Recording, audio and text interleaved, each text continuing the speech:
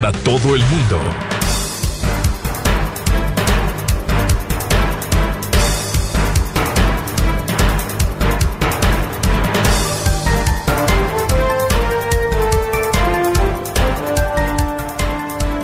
Siete cuarenta minutos en el territorio continental ecuatoriano, buscando la verdad en la revista de opinión Democracia. Queremos dar la bienvenida a nuestros siguientes invitados, al señor viceministro de Servicio Público del Ministerio del Trabajo, doctor Jorge Benavides, y el doctor Miguel Ángel Puente, abogado laboralista. Les invitamos para hacer un análisis. Iniciamos un nuevo año con una expectativa penosamente por algo que no solo depende del Ejecutivo, sino fundamentalmente de, de esa asamblea mediocre que no da respuestas a los temas de fondo, a los acuciantes problemas de los ecuatorianos, como en este caso es la reforma laboral. El señor ministro de Trabajo, Patricio Donoso, se empeñó el año anterior en la instalación de mesas de trabajo precisamente para avanzar en una reforma.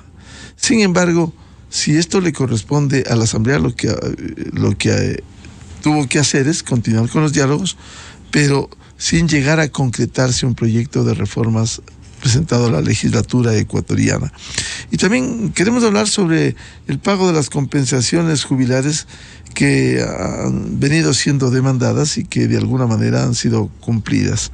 Doctor Jorge Benavides, ¿cómo abrimos este 2023 con este panorama laboral y estas expectativas que existen? Muy buen día. Muy buenos días, Miguel. Muchas gracias por la invitación. Un cordial saludo al doctor Puente y a todas las personas que nos siguen esta mañana en este diálogo. En efecto, una de las prioridades del Gobierno Nacional y del Ministerio del Trabajo en particular es generar condiciones a través de la expedición de normativa infralegal para incentivar las contrataciones. En ese contexto, como usted bien lo ha señalado, Miguel, fue importante el esfuerzo que se hizo a través de esta cartera de Estado liderada por el ministro Donoso para acercar a los distintos actores productivos con la finalidad de promover un cambio en la legislación laboral.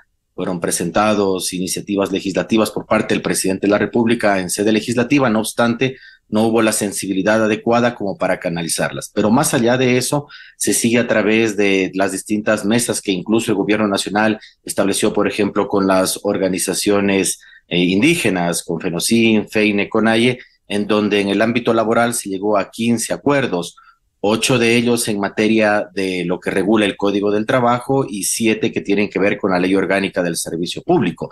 Y dentro de los temas que se discutió en el ámbito del servicio público, de los servidores públicos que tienen el régimen de, de los CEP y de Código del Trabajo, los, trabajadores, se estableció, por ejemplo, lo que usted señala, la importancia del pago de la compensación por jubilación en el año 2022 se pagó 310 millones por pago de compensación por jubilación a ex servidores de nombramiento definitivo, lo que supuso un, beneficio para más de 6 mil personas.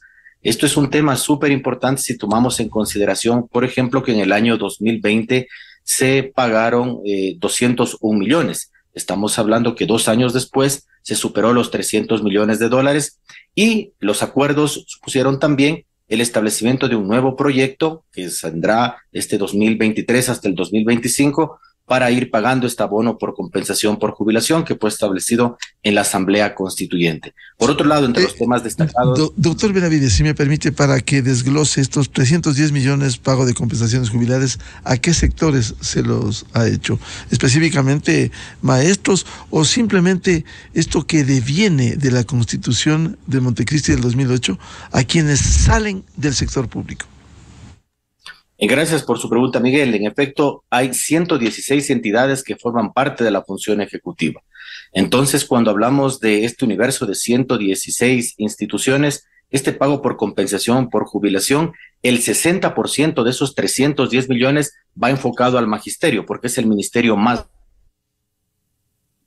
digamos. Por otro lado está el, el ámbito de la salud. A ex servidores de la salud, alrededor de un 22%, y el 18% restantes es para otras instituciones del servicio público. Obviamente, nosotros como Ministerio del Trabajo establecemos la política de remuneraciones, establecemos la política de talento humano para el servicio público, pero cada función del Estado tiene su autonomía. Nosotros nos encargamos primordialmente de lo que tiene que ver con la función ejecutiva, como señalo, 116 instituciones. El 60% de estos 310 millones para ex maestros, el 22% para ex servidores de la salud pública y el 18% restantes para lo que tiene que ver con el ámbito de otras instituciones. Y dentro de ese contexto incluso se ha cubierto, por ejemplo, en las distintas regiones del país, distintas provincias, y eso es importante porque es un esfuerzo nacional se toma en serio los derechos de los ex servidores públicos, que dicho sea de paso también ya son un grupo de atención prioritaria al ser personas de la, de la tercera edad. Es un beneficio, como usted señaló, que se estableció en su momento en la Asamblea Constituyente, sin que lamentablemente, como ha ocurrido en otras medidas, exista un análisis adecuado en términos económicos, pero es un derecho constitucional y el gobierno nacional cumple con los derechos de los ex servidores públicos. En el ámbito, por ejemplo, eh, del, Código del Trabajo, lo que, lo que trajo consigo las negociaciones en las mesas de diálogo con los sectores eh, sociales, los sectores indígenas, se, se ha establecido algunos temas importantes que tienen que ver con el, el, adelantar algunos temas mayor rapidez, el trámite de las organizaciones sociales y sindicales y, por ejemplo, también el establecimiento de un protocolo en contra de acoso laboral. O sea, hay algunos elementos, así como había señalado también la expedición de alguna normativa en aras de promover el tema del empleo. Eh, doy la bienvenida al doctor Miguel Ángel Puente, abogado laboralista. Este primer tema que quisiera que lo desarrolle, que ha anunciado el doctor Jorge Benavides, viceministro, eh, el pago de las compensaciones eh, jubilares deviene gran parte en el mandato constitucional. Sin embargo, esto no es una carga para el Estado, por mandato constitucional, insisto, pero una carga para el Estado en estas condiciones. Buen día. Buenos días, eh, Miguel, eh, doctor Benavides y a la audiencia que nos escucha y nos acompaña en esta entrevista. Un gusto poder compartir con ustedes. Eh, como bien decía el doctor Benavides, esta es una disposición legal que nació precisamente con un mandato constitucional y por lo tanto tiene que ser de cumplimiento obligatorio. Eh, muchas veces se toman determinadas decisiones más desde un punto de vista político y no desde un punto de vista técnico. Eh, no sé, obviamente, en el, lo que motivó justamente a establecer esta compensación por jubilación debió haber tenido los antecedentes financieros y económicos que permitan la sostenibilidad de este pago. Muy probablemente, reitero, al haber sido una decisión más de carácter político que técnico, esto posiblemente no se encuentra debidamente financiado. Sin embargo, hay que resaltar y rescatar que eh, el gobierno nacional ha tomado la decisión de cumplir con una disposición que había estado incumplida durante algún tiempo y ha procedido al pago justamente de esta compensación eh, por jubilación para estos servidores eh, o ex, servidores públicos. Entonces, si bien es cierto, obviamente esto representa un costo para el presupuesto general del Estado, sin embargo, reitero, es el cumplimiento de una obligación que mientras se encuentre vigente hay que cumplirla. Es decir, eh, guste o no al, al, al gobernante de turno, este tiene que cumplir sus obligaciones y en este caso justamente una de ellas es del pago de esta compensación por jubilación. Así que rescato que eh, el gobierno ha realizado precisamente el cumplimiento de esto que estaba pendiente hace algún tiempo atrás. Eh, con esas consideraciones, 310 eh, millones que ha pagado en compensaciones jubilares, de cualquier manera es un monto alto, mm, insisto, es mandato constitucional, pero esto no representa una carga de lo que eh, pudiera, pudiera servir para otros fines, precisamente para incentivar el desarrollo laboral. Doctor Puente. Eh, bueno, eh, eh, sin lugar a dudas, esto debe estar en el, o debe constar en el presupuesto general del Estado. Obviamente hay ciertos gastos que pueden orientarse hacia otros rubros como salud, educación. justamente mencionaba el doctor Benavides que los beneficiarios de esta compensación principalmente son estos dos sectores, del sector del magisterio y de los funcionarios de salud, que corresponden justamente a estos, a estos sectores que tienen mayoritariamente ex eh, o ex colaboradores, ex funcionarios y que se encuentran jubilados. Eh, reitero, siempre eh, se podría destinar a otros fines, pero hoy por hoy se ha cumplido justamente con esta obligación legal y que mientras se encuentre vigente es de cumplimiento obligatorio, ¿no? igualmente yo quisiera rescatar el tema de lo mencionado sobre la situación laboral justamente o las perspectivas para este año, eh, este nuevo año, el 2023, sobre los temas de orden laboral. Yo creo que ahí es, es uno de los temas que debemos enfocarnos en la discusión respecto a cuáles son las tareas que tiene o los desafíos que tiene pendiente el gobierno y también la Asamblea Nacional.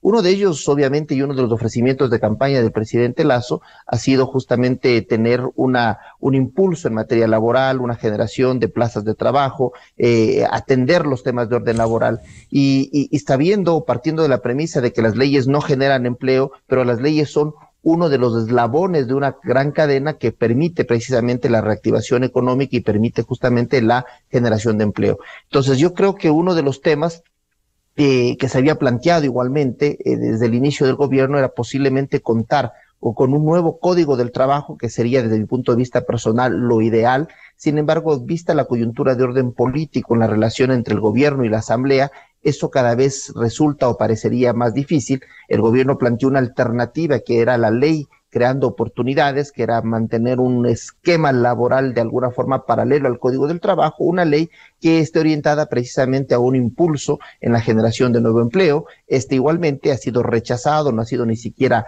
estudiado por parte de la Asamblea Nacional eh, al haber sido devuelto el proyecto de ley presentado en septiembre del 2021 y por lo tanto pues nos encontramos en que eh, prácticamente a, en camino a dos años de gobierno no tenemos justamente una ley, ya sea un nuevo código del trabajo que reemplaza el código existente que viene de 1938 o ya sea una ley que permita el impulso. Reitero, las leyes no generan empleo, pero son parte, son unos eslabones de una cadena que permite justamente la reactivación económica. Y por lo tanto, yo creo que aquí hay una responsabilidad, una corresponsabilidad en esta falta de cumplimiento por parte de la Asamblea Nacional. Lastimosamente, la Asamblea ha hecho caso omiso a esta a este gran requerimiento ciudadano. Yo creo que dos de los principales problemas que afectan a la población son uno, el tema de seguridad y dos, el tema de empleo. Es decir, en todas las mediciones, las encuestas, en todos los, los sondeos de opinión, esos son los principales problemas que tiene el ciudadano la seguridad y el empleo.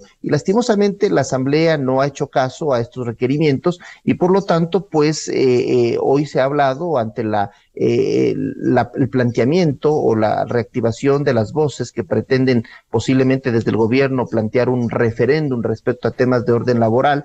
Eh, la Asamblea eh, ha hecho una, un pronunciamiento en el sentido de que está dispuesta a un diálogo. Ojalá que esto se cumpla, ojalá que esto pase de ser simplemente una propuesta de carácter política y se convierta en un tema de trabajo técnico para que juntos el Ejecutivo y el Legislativo puedan trabajar en un proyecto que lo que busque es esto, generación de nuevo empleo, que lo que busque es incentivar nuevas modalidades de contratación, que respetando los derechos laborales, los derechos adquiridos y sin eh, que implique ninguna regresión de derechos, sí se permita una ampliar el espectro de posibilidades de contratación laboral para que más personas que hoy no tienen un pleno empleo, apenas tres de cada diez personas tienen un pleno empleo, puedan optar por una posibilidad de trabajo a través de una modalidad de jornada completa, jornada parcial o cualquier otra modalidad que se establezca, que lo que permite es dinamizar el mercado laboral. Y yo creo que ese es el reto que tiene el Ejecutivo y hoy por hoy el Legislativo, que reitero, ha fallado en reiteradas ocasiones ante este requerimiento, este clamor nacional. Antes de pasar a la reforma laboral y los procesos que se han desarrollado desde el Ejecutivo, quiero plantear al señor viceministro, doctor Jorge Benavides, eh, Dentro de este proceso de pago de compensaciones jubilares, también eh, eh, se ha conocido que qué va a pasar con las renuncias voluntarias en el sector público, que de lo que se ha revelado, estaría estancado desde hace cinco años. Quienes quieren salir de forma voluntaria, pero precisamente por el peso específico de esta compensación uh, jubilar, eh, pudiera detener. Eh, ¿Qué, qué, qué, pasa con esto, doctor Benavides?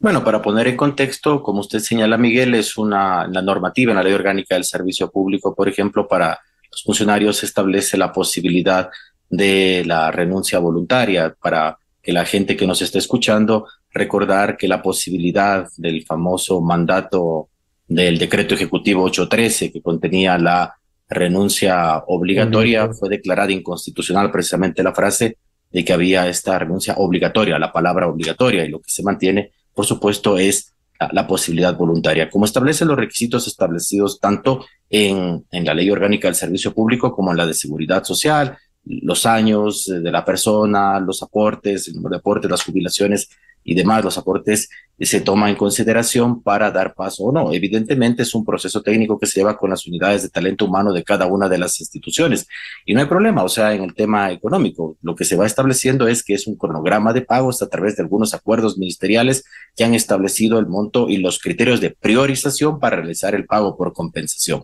Hay que tener en consideración que todos los días siguen aumentando las personas que se van desvinculando a partir de los que cumplen los requisitos establecidos en la ley y en ese sentido siempre va aumentando la cantidad de personas que eh, se acogerían a este beneficio. Para tener más o menos una idea de más de 17 mil expedientes validados, hay alrededor de una deuda que rondea los 800 millones de dólares por pago por compensación por jubilación. Este año 2022 que pasó se hizo un esfuerzo extraordinario que si en primer momento se había establecido un monto de 230 millones, luego distintas gestiones entre las diversas carteras de Estado permitió conseguir 80 millones adicionales y se llegó a un monto de 310 millones, con lo cual, como había señalado, se ha pagado a más de 6 mil personas. Entonces, si vemos entre 17 mil y 6 mil, hay una relación importante. No obstante, como señalo, cada día hay personas que, cumpliendo los requisitos en la ley, se van eh, desvinculando del servicio público. Por eso, precisamente, en las mesas de diálogo, en las últimas que se mantuvo con las organizaciones sociales, con los eh, movimientos indígenas, precisamente se estableció el, el proyecto para poder cumplir del año 2023 hasta el año 2025 con este pago por compensación. Los parámetros que se ha establecido vía acuerdo ministerial para las personas que nos escuchan es 70 años cuando tienen esta idea de, de priorización, que tenga una enfermedad grave o catastrófica y finalmente la fecha de desvinculación. Un dato no menor es que nos hemos puesto al día con los pagos de personas que venían retrasadas desde el año 2015, 2016. Actualmente ya se acabó de, pagar a las personas del año 2018 y se ha llegado hasta el primer trimestre del 2019. Es un esfuerzo en conjunto. Por otro lado, un tema también que debe ser conocido es que aquellas personas, servidores públicos que son del régimen del Código del Trabajo, cobran su compensación por jubilación en efectivo mientras que las personas que son parte del régimen de ley orgánica del servicio público está la opción de los bonos. Obviamente la opción de coger bonos también es voluntario, pero es un esfuerzo importante. De los 310 millones destinados el 2022, es un 50% en efectivo y un 50% en bonos del Estado. Las personas que tienen más de 70 años, indistintamente del régimen laboral que se le aplique, sea ley orgánica al servicio público o sea código del trabajo, cogen en efectivo el dinero. Entonces, en ese sentido, se está haciendo todas las gestiones necesarias, incluso ya está contemplado para el presupuesto general del Estado del año 2023 eh, a base de 230 millones, igual de lo que ocurrió en el año 2022, más allá de otras eh, gestiones que se realizan a lo largo de este 2023 para conseguir más recursos. Y los pagos son trimestrales, se realizarán en marzo, se realizarán en junio y en octubre, y se dejará el último trimestre, finalmente diciembre, para recursos extras que se pueda gestionar con la finalidad de cumplir con este, este, este derecho que les corresponde a los ex. En resumen, lo que queremos decir es que a través del gobierno nacional, vía el Ministerio del Trabajo, el servicio público, se está tomando en serio la carrera del funcionariado, que entre otras cosas implica el ingreso, la promoción, el ascenso, la evaluación, la, la, meritocracia, los procesos de formación y, por supuesto, estos procesos de desvinculación, que como hemos señalado es una obligación establecida en la Constitución, que se la contempló en el proceso constituyente del 2008 y luego fue incorporado a leyes como la del servicio público y está también conectada con otras, con otra normativa que nos impulsa a llevar adelante el pago de esta compensación. Doctor Jorge Benavides, para que nos ilustre, ¿pudiera poner ejemplos? ¿Cuánto recibe un funcionario que cumplió 70 años? ¿Cómo se hace el cálculo? Y si esto involucra también al sector de la fuerza pública, policía y militares?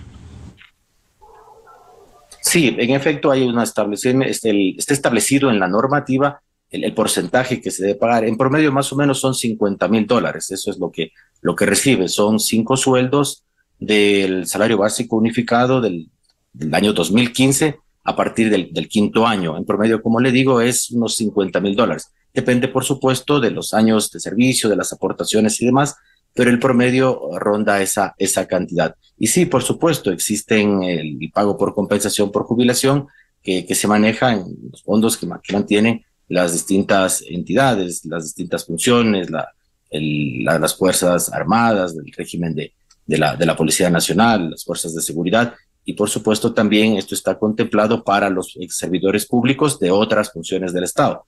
La particularidad es, como señalaba al inicio de la intervención, que nosotros nos encargamos primordialmente de las entidades que forman parte de la función ejecutiva. No obstante, establecemos también en términos generales eh, la normativa que se aplica para, por ejemplo, establecer los techos de los de las, eh, salarios que reciben, por ejemplo, otras funciones del Estado, incluido también el tema de los gobiernos autónomos descentralizados. Más allá de la autonomía que tienen, establecemos los techos y también, por supuesto, establecemos la política general en materia de talento humano. En ese sentido, es un esfuerzo en conjunto de las distintas funciones del Estado y particularmente con estos 310 millones, como señalo, hacia las entidades que forman parte de la función ejecutiva.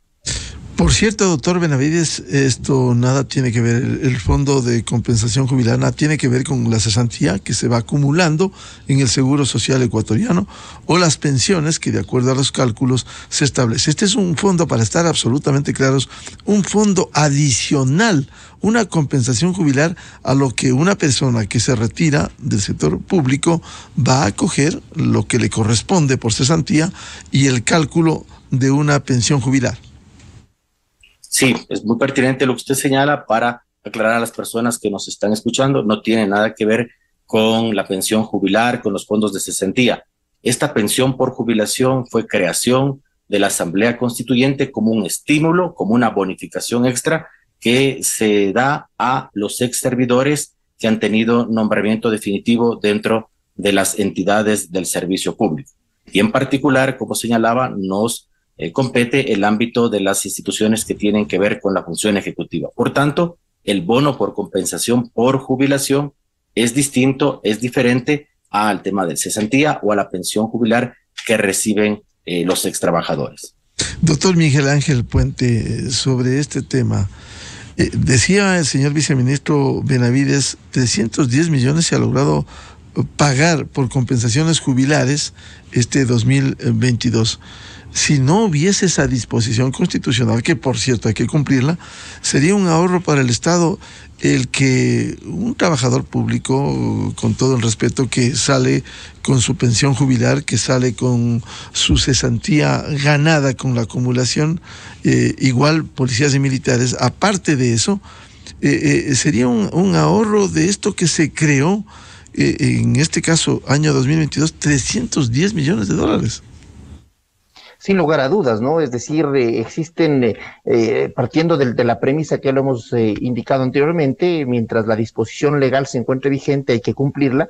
Sin embargo, claro, el origen de esto posiblemente, reitero, fue un tema más de orden político que técnico, al igual que muchas decisiones. Igual estamos hablando de los trabajadores de, o los funcionarios del sector público sujetos a la LOCEB o al Código del Trabajo, pero pasa algo similar también en el concepto de jubilación patronal respecto de establecida en el Código del Trabajo. Es decir, eh, somos eh, tal vez el único país eh, de la región que tiene un doble sistema de jubilación. La jubilación, naturalmente, que está cotizada a través de la seguridad social y tenemos un sistema de jubilación patronal a cargo del empleador para aquellos trabajadores que han cumplido 25 años de manera continua o discontinua con el mismo empleador. Entonces, estos regímenes, por eso es que decíamos que es indispensable realizar una revisión integral del Código del Trabajo o una ley que permita justamente un proceso de transición, porque esto definitivamente implica unos sobrecostos adicionales en materia laboral que lejos de incentivar la generación de nuevo empleo, posiblemente pueden ser cortapisas o limitantes al momento justamente de generar nuevo empleo. Entonces, eh, yo creo que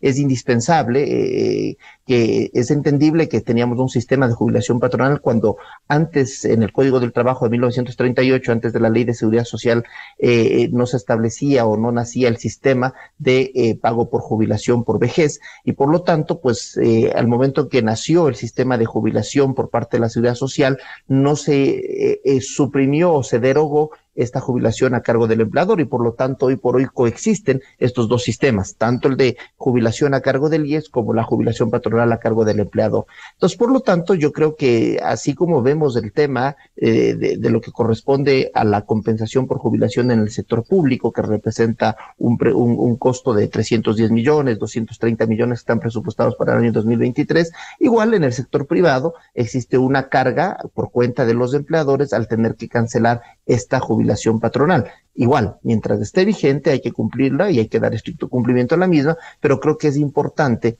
eh, eh, en este proceso de modernización normativa, en este proceso de adaptar la norma a las realidades eh, vigentes, es indispensable que se haga una evaluación, reitero, técnica, no política de estos temas que son sin lugar a dudas indispensables en el concepto de competitividad, de eficiencia, de poder efectivamente tener un mercado laboral más atractivo y más flexible en el sentido de flexibilidad como posibilidad de que las personas puedan hoy tener un trabajo y mañana tener la posibilidad de moverse a otro empleo sin tener que mantener un gran periodo de eh, mantenerse en el desempleo. Entonces, esto es lo que justamente la propia Organización Internacional del Trabajo, lo hemos mencionado en otras ocasiones, por efectos justamente de la pandemia, hace unas recomendaciones a los distintos gobiernos para que busquen flexibilizar sus normativas laborales con el propósito justamente esto. La pandemia generó una afectación grave a la generación de nuevo empleo. Y los países en diferentes proporciones están volviendo a tener eh, tasas de crecimiento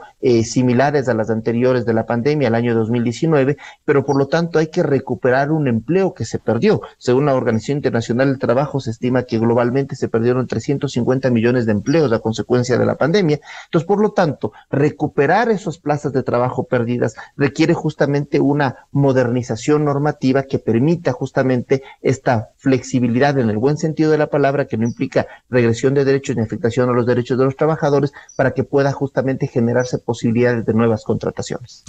Doctor Miguel Ángel Puente, a propósito de lo que usted señala, jubilación patronal, que esto es parte también de una reforma laboral que que, no llega, no llega, y quien debe aprobar es la Asamblea Nacional.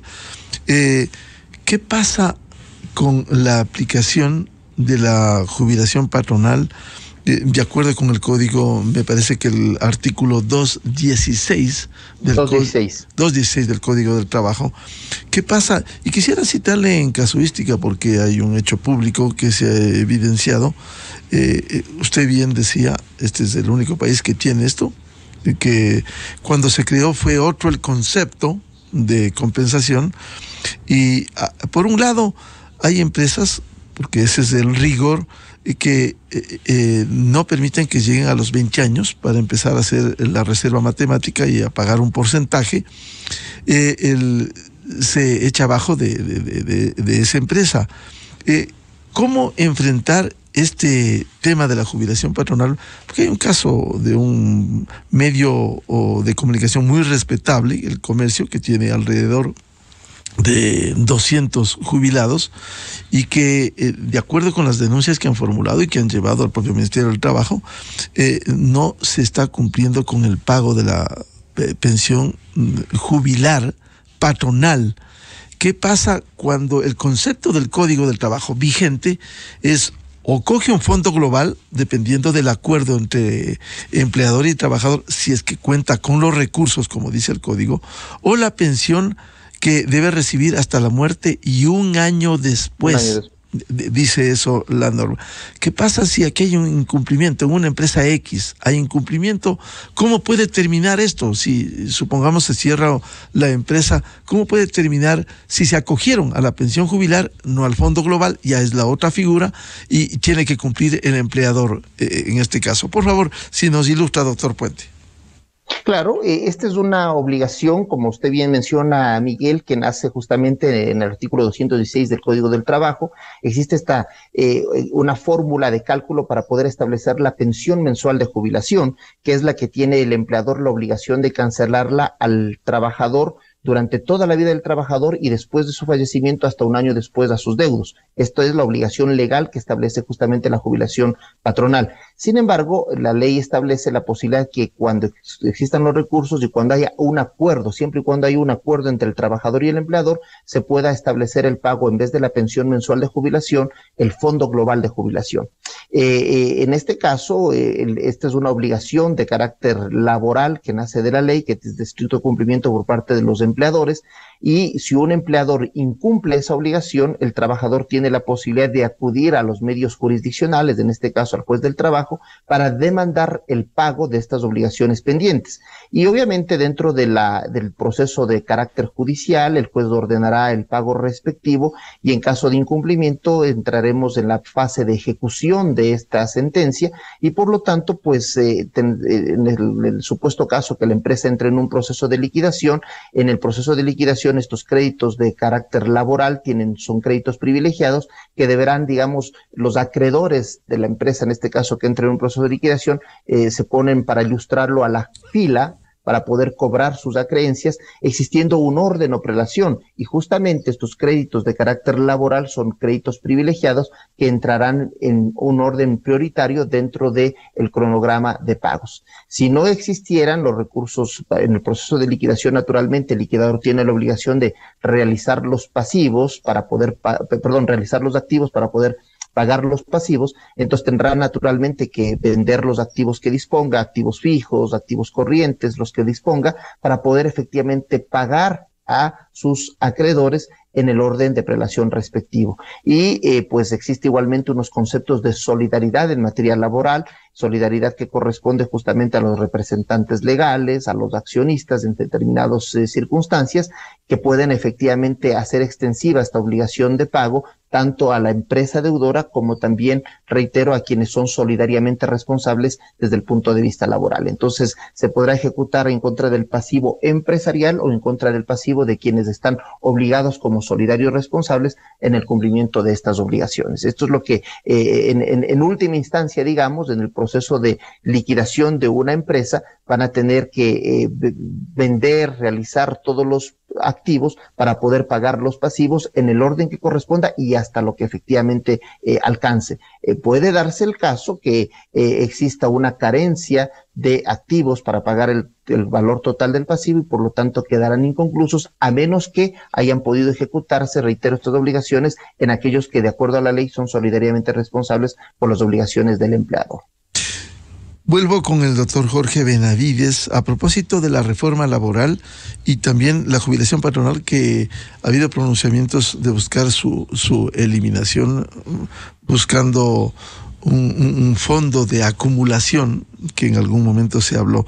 ¿Qué pasa con estos dos temas? Reforma laboral, jubilación patronal, luego de los diálogos, como señalaba, que se empeñara el propio ministro Patricio Donoso desde el año pasado. Sabemos finalmente que quien debe tramitar, debatir, aprobar, reformar, es la Asamblea Nacional. Y sabemos que esa Asamblea está desconectada de, de, los problemas eh, nacionales, está en el andarivel exclusivamente politiquero. Eh, ¿Qué pasa con la reforma laboral y la jubilación patronal? Por favor. En efecto, como se ha señalado, había una iniciativa legislativa como fue la ley de creación de oportunidades laborales que lamentablemente no prosperó y luego también eh, con una arista importante en materia de producción relacionada a generar condiciones e incentivos para el trabajo, el tema de la ley de inversiones que lamentablemente tampoco fue procesada favorablemente por parte de la Asamblea Nacional. En ese contexto, eh, la línea política que se ha manejado a través de las competencias que tiene el Ministerio del Trabajo es dinamizar formas de contratación que vía acuerdos ministeriales se puedan implementar y mejorando algunas de las que ya existen. Por ejemplo, el tema que está regulado en los contratos productivos, de emprendimiento y demás, es normativa que puede ser utilizada actualmente por los empleadores que precisamente puede ayudar en unos contextos tan complejos y de falta de, empleo por problemas estructurales post-pandémicos. No obstante, quiero decir algo que es importante que los ciudadanos que nos escuchan tengan presentes. Según el Instituto Nacional de Estadísticas y Censos, en esta encuesta por el empleo y el desempleo, se manifestó allá en el, en el mes de noviembre del 2022 que haciendo una comparación entre mayo del 2021 y noviembre del 2022, se generaron más de 412 mil empleos adecuados en Ecuador. a pesar de que las protestas de junio del 2022 fueron bastante lesivas de cara a la reactivación económica. Entonces estamos hablando que en un periodo eh, poco más de un año se generaron 412 mil empleos. No lo digo yo, lo dice el INEC a través de los instrumentos de medición.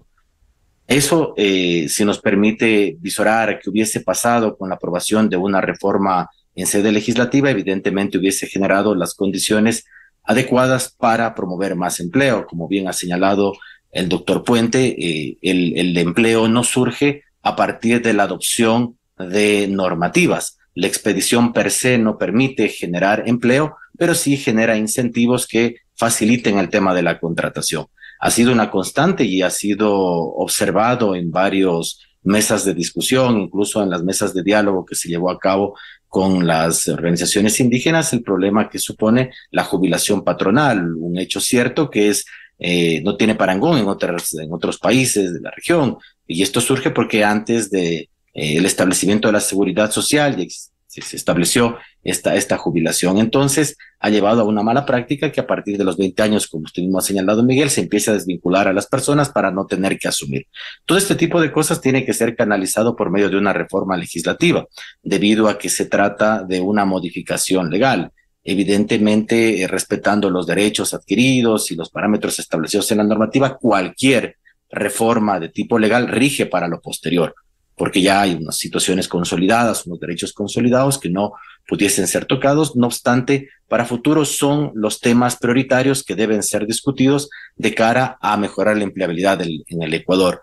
Discutir también para que no quede solamente en normativa infralegal, por ejemplo, esa posibilidad de, de flexibilizar un poco el tema de la repartición de las jornadas en seis días y no cinco días, que ya está previsto en algunos acuerdos ministeriales que, que permitan generar condiciones adecuadas para aprovechando también lo que está haciendo el gobierno nacional en materia de, de convenios con otras, eh, otros países, este tema de tratados internacionales, este tema que tiene que ver con inversiones y todos los acuerdos económicos que, que generan condiciones para que se reactive el mercado económico. La propuesta del presidente Lazo, eh, más allá de los paros y las cosas que han ocurrido y la no eh, digamos, solidaridad con el pueblo en su conjunto por parte de la legislatura para tratar temas de reforma laboral, es los dos millones de empleos a lo largo de cuatro años. En ese sentido, por ejemplo, destacar, como había señalado, que del periodo mayo 2021, noviembre 2022, se generaron 412 mil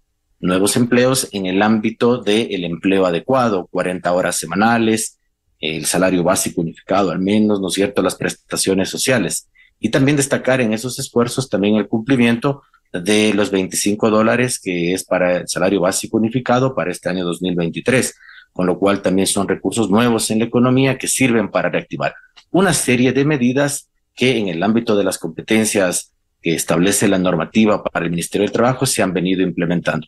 Un punto adicional, antes de cerrar esta idea, también las mesas de diálogo con los sectores productivos que vía Ministerio de Producción y todas las entidades y carteras de Estado en el, en el Palacio de Carondelet en días pasados se llevaron a cabo, con esta finalidad precisamente que todos los actores de la sociedad dialoguen en torno a una agenda por el trabajo, tanto empleadores como empleados, que respetando, por supuesto, los derechos de los trabajadores, se tenga eh, en cuenta las particulares condiciones que existe en un contexto pospandémico. La misma Organización Internacional del Trabajo señalaba, y esto ya lo habíamos repetido en otras ocasiones que hemos tenido la, la posibilidad de conversar, que en América Latina el 70% de los trabajos que se han generado después de los meses más fuertes de la pandemia se generaba en condiciones de informalidad.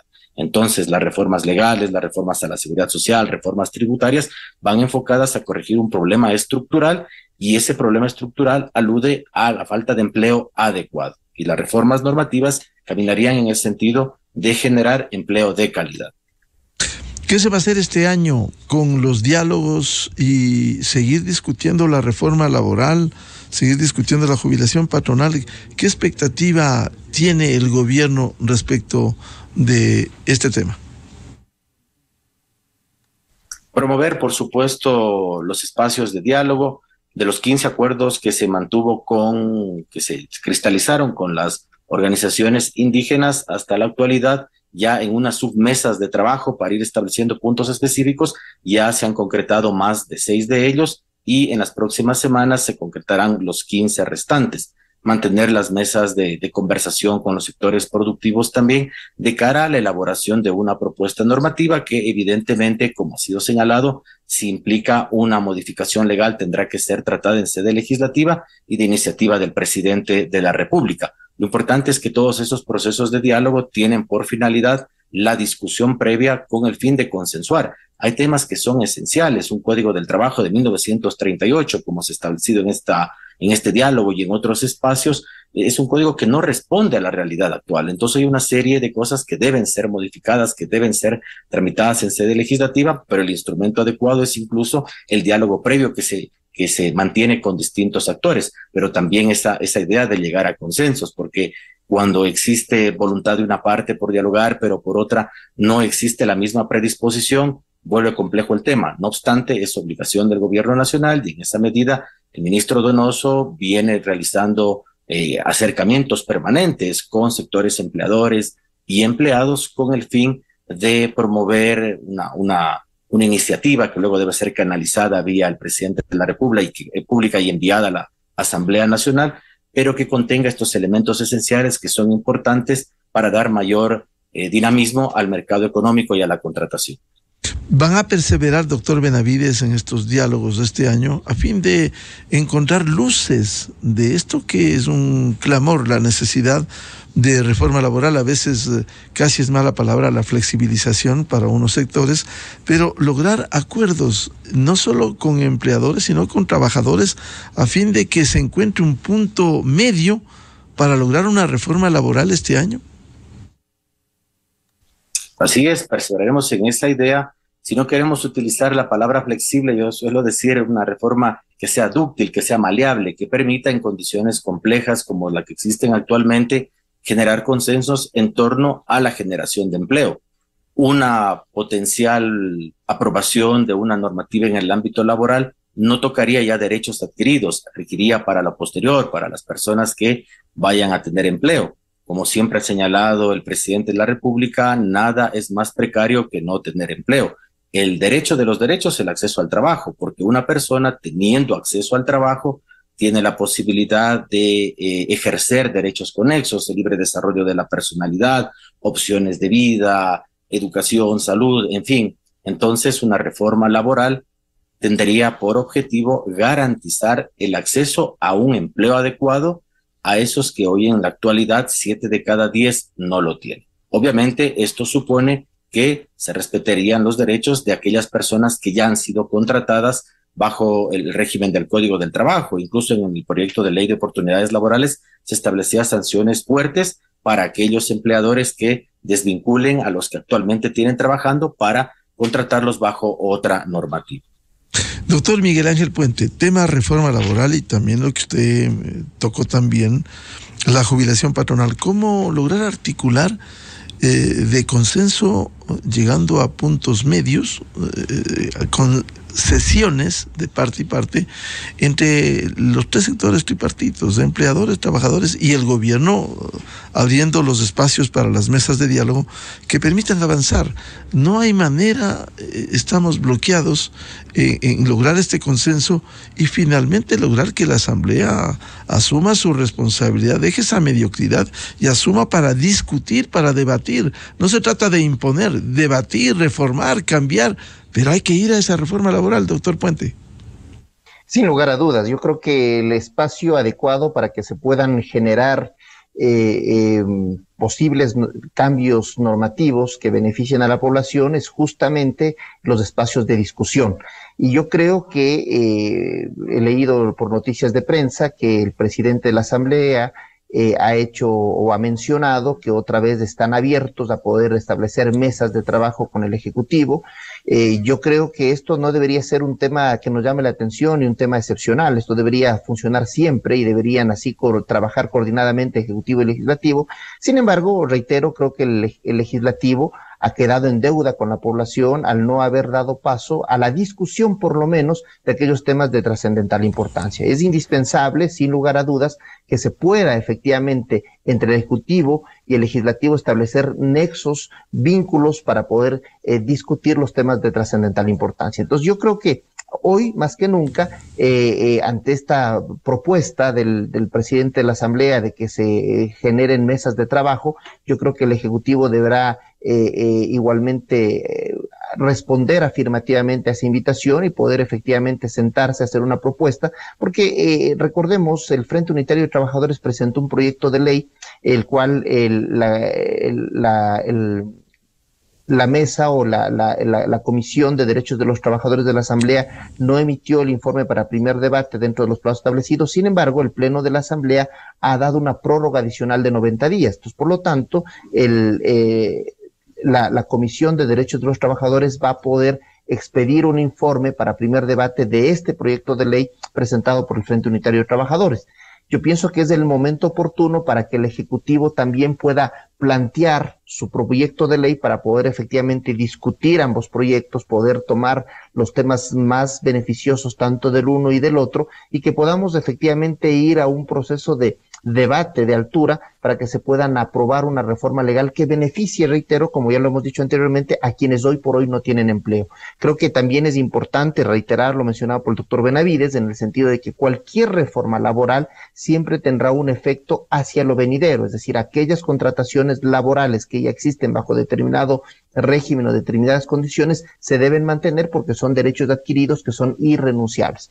Yo solo decir que los derechos de los trabajadores son irrenunciables y de los eh, y de los desempleados son inexistentes desde el punto de vista laboral. Es decir, por eso tenemos que ir justamente pensar en aquellas personas que hoy por hoy no tienen un empleo para poder generar opciones que les permita acceder a un posible empleo. Entonces yo creo que hoy por hoy es el momento oportuno en este año para que el Ejecutivo y el legislativo se puedan sentar, puedan discutir. Eh, eh, existe ya un proyecto de ley presentado por Frente Unitario de Trabajadores. Creo que el Ejecutivo tiene que necesariamente presentar una alternativa, porque posiblemente los proyectos eh, tienen un sesgo o una particularidad dependiendo de cuál es el origen. Y yo creo que el gobierno es un gobierno que, es, como su eslogan lo dice, es un gobierno de todos. Entonces, por lo tanto, tiene que incluir tanto a los trabajadores como también a los empleadores, tiene que incluir a a, estos sectores tripartitos que usted bien mencionaba, Miguel, es indispensable justamente que el gobierno pueda presentar un proyecto que pueda ser discutido y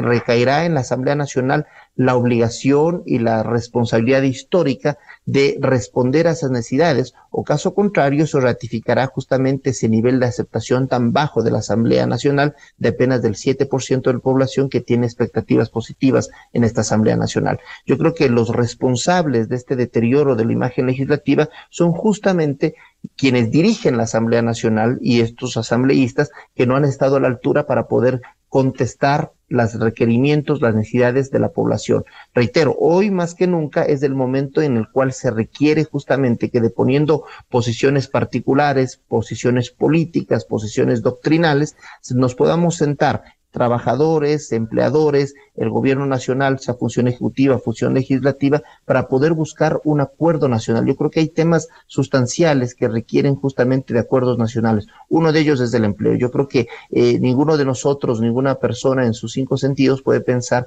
que el trabajo o la necesidad de nuevo empleo no es algo indispensable y es algo que el país requiere. Por lo tanto, depongamos posiciones y busquemos justamente ese diálogo y para eso yo creo y pues a través del Ministerio de Trabajo y el Gobierno Nacional deberá articular los planes de operación política adecuadas para presentar los proyectos o las observaciones que correspondan al proyecto de ley que está discutiendo la Comisión de Derechos de los Trabajadores para que éste pueda efectivamente entrar al debate del Pleno algo que pueda ser en beneficio justamente de los grandes sectores que en este momento requieren de empleo. Ahora, doctor Puente, hay que estar absolutamente conscientes de que al no haber ese acuerdo nacional alrededor de, de la reforma laboral, donde converge no solo el Ejecutivo, no solo la Asamblea, trabajadores, empleadores, eh, ¿quiénes se perjudican? Porque hay que hacer conciencia el que no hay eh, una reforma laboral, simplemente seguimos en un marco rígido que no permite mayor generación de, el, eh, de la fuente de, del pleno empleo, doctor Puente.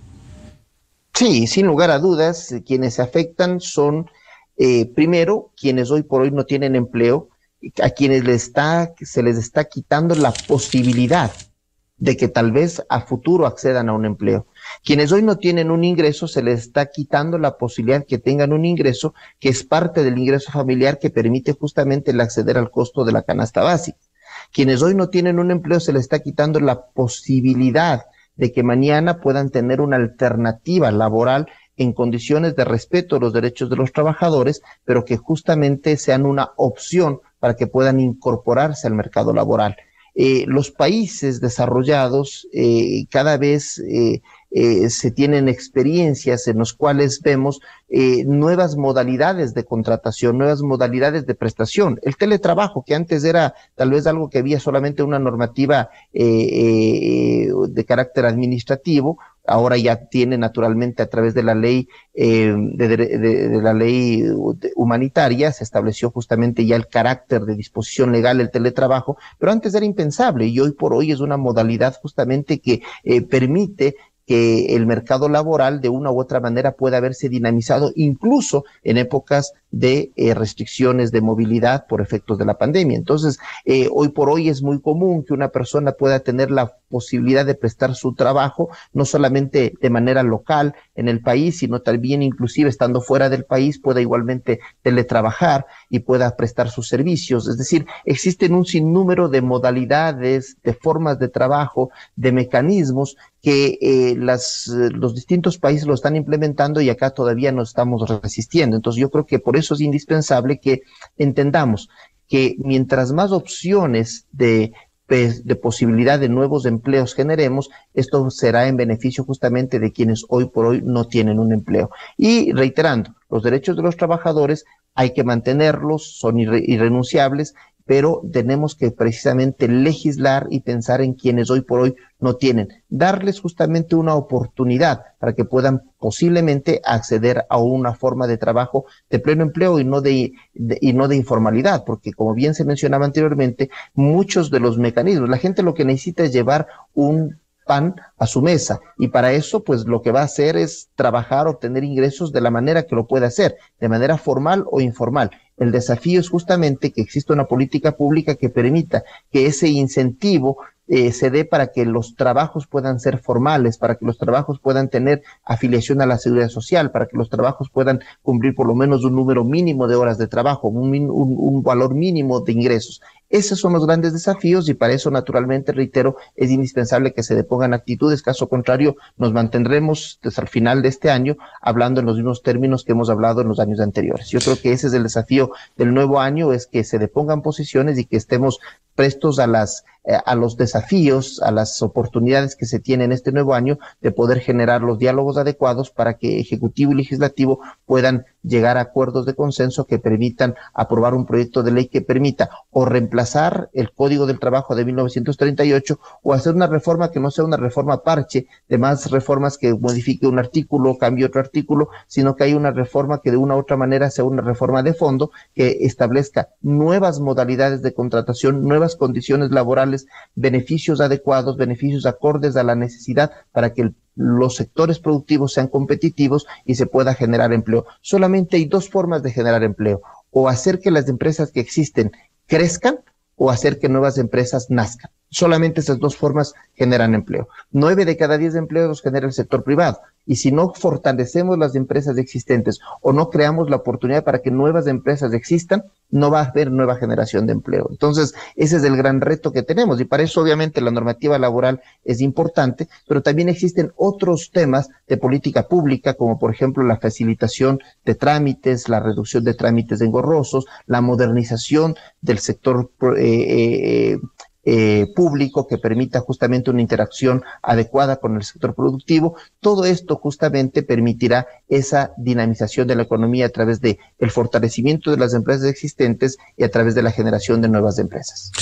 Eh, eh, en resumen, la reforma laboral es necesaria en el Ecuador, en donde convergen los diferentes sectores, gobierno, asamblea, empleadores, trabajadores, pero hay que hacerlo. Esta es una deuda pendiente que involucra con las sesiones que cada uno de los sectores tienen que hacer. Vivir una realidad de hoy no la del pasado, no solo de los derechos adquiridos que no se puede tocar, sino también de los derechos inexistentes, como decía el doctor Miguel Ángel Puente. Gracias por el aporte. Seguiremos hablando de este tema de la reforma laboral al doctor Jorge Benavides, viceministro de Servicio Público del Ministerio del Trabajo, y el doctor Miguel Ángel Puente, abogado laboralista. Muy amables por el aporte. Muy buen día. Un gusto. Buenos días. Muchas gracias. 8.34 minutos en el territorio continental ecuatoriano, buscando la verdad en la revista de Opinión Democracia. Vamos a una pausa publicitaria y ya volvemos. Tenemos previsto un diálogo con el candidato a la alcaldía de Quito por el movimiento Amigo Lista 16, el doctor Pedro José Freile, Alianza 1723, 1723, aquí en la revista de Opinión Democracia. Miguel Rivadeneira en la revista de Opinión Democracia. Inicio de espacio promocional y publicitario. Mi nombre es Judith Ángela Alba Quinchet. Actualmente tengo cuatro vacas y las heredé de mi familia. Empecé a necesitar más medicamentos, eh, alimentación. Entonces yo fui a Ban Ecuador y saqué... Eh,